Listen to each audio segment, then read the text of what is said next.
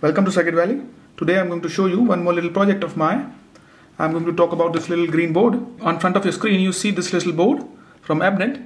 This is a small little board. It is called MicroZed FPGA SOM board. It has a Zynq SoC from Xilinx. This SoC has dual core ARM CPU along with the FPGA on same chip.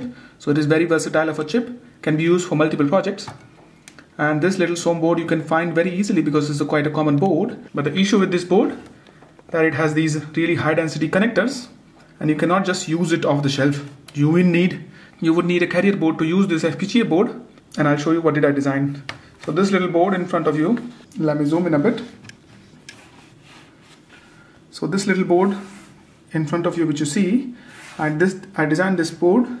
It is second version of my previous carrier board for MicroZed FPGA board and it has four layers and all the pins, it's nothing special has four layers. USB power in another power connector alternate power input. And on the back side it has no components only the differential routing. It's a four layer board very very basic. On this MicroZed board there are three different power banks available. And I have routed and I have routed these power banks onto these two connectors of course. And you see these three regulators. These three power banks can be individually powered from any of the regulators. And each regulator is configurable for 1.8 volts 2.5 volts and 3.3 volt. If you're going to use LVDS, you can you can cut these solder pitches and just solder the new point or solder the alternate connection. Right now, all of the FPG, right now all of the regulators are configured for 1.8 volts. So if I need to configure 1.2 volts, if I need to configure 2.5 volt, I'll just cut it here and solder the new bridge. When I need to change back, I'll desolder here and solder it back. So these three, every regulator is configurable for three different voltages and you can select whatever the voltage you want. Same, you can also use same regulator to power all three regulators using these three SMD solderable jumpers. And this board is very very simple, two high density connectors.